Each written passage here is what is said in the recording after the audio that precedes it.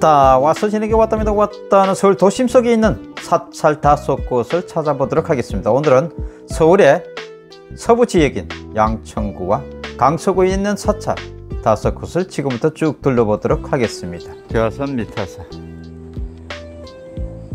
이렇게 문이 있는데 의관문이라서 스님들께서만 출입을 하는 문이라고 되어 있습니다. 앞은 이렇게 바로 앞에 여기 석불립상이 있고요 저 위에 바위 위에도 또 석불이 있습니다. 미타사의 석불 입상 한번 보도록 하겠습니다. 얼굴이 여인의 얼굴 같아요. 미타사는 고려 말에 창건된 사찰로 되어 있습니다. 석불만 남아 있었는데 1924년에 창되었고 1937년에 미륵당 석불 보호각이 지어졌다고 되어 있습니다 아 그런데 얼굴 모양이 얼핏 보면 여인의 모습 같기도 하고요. 정확히 모르겠습니다. 느낌에 그렇다는 이야기입니다. 저 위에 또 불상이 있습니다. 개화산의 큰 바위에 있는 저 미륵불은 세상을 밝혀주는 불빛입니다. 공덕탑인 것 같아요 여기도. 아, 탑이 작고 크고 한데 여러 개가 있습니다. 여기 사찰의 옆모습을 지금 보고 있고요. 아, 뒤에서 석불입상을 보고 있습니다. 네 옆에서 본 석불입상인데요. 아래에 보면 여기에 주춧대가 하나 더 있어요. 그러면 원래 쌍불이지 않았을까 하는 생각도 듭니다. 그런데 주변에 그 흔적은 없어요. 전부 다 바위산입니다 한국 동란 때 사찰이 대부분 불타 없어지고 석불 입상만 남아있던 것을 그 이후에 중창한 걸로 되어 있습니다. 다음은 약사사를 보시도록 하겠습니다. 바로 계야산 약사사 3층 석탑이고 대웅전이 뒤로 보입니다.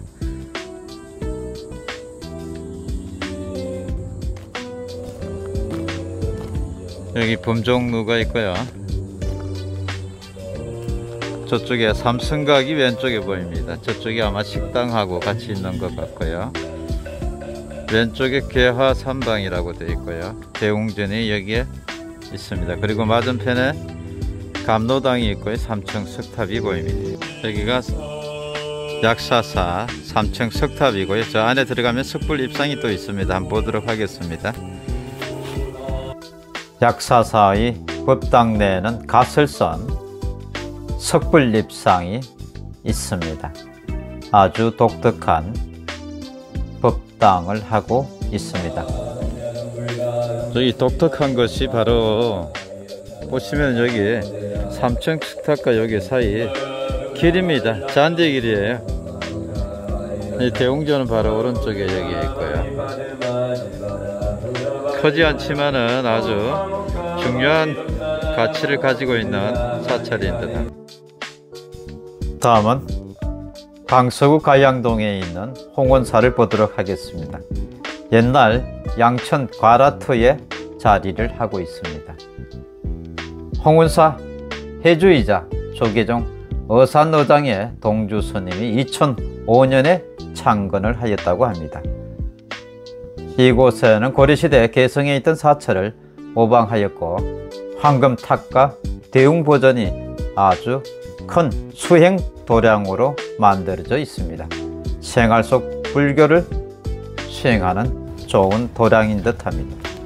대웅보전 앞에는 7층 석탑이 있으며 해맑은 스님의 시주하는 모습 예, 좌측으로 이렇게 가 자리하고 있습니다. 저희 그 가운데에 보시는 것처럼 이 7층 석탑 예, 통일 신라 시대의 양식이라고 되어 있습니다. 글쎄 그런데 만든 지는 얼마나 오래된지는 알 수는 없고요. 복전함이 있고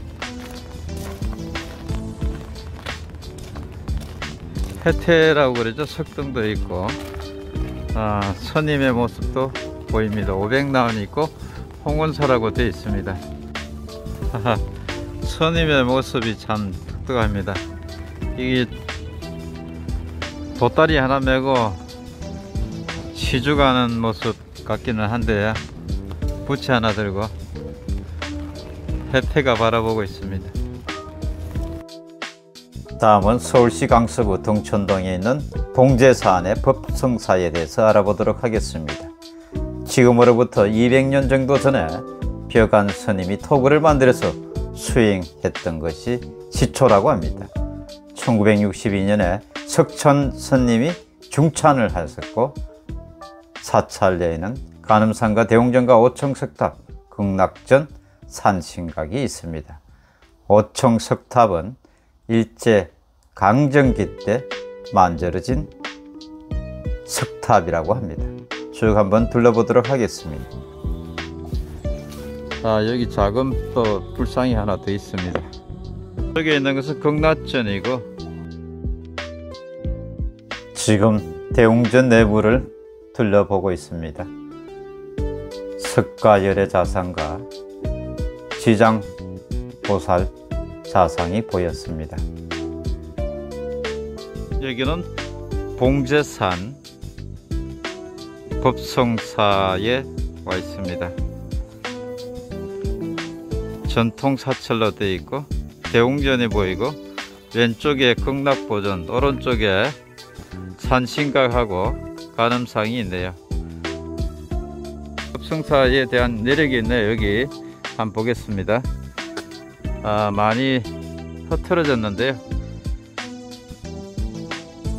창건에 대한 자세한 기록은 남아있지 않고 다만 200여 년 전에 여기 만들어졌다고 그렇게 되어 있습니다.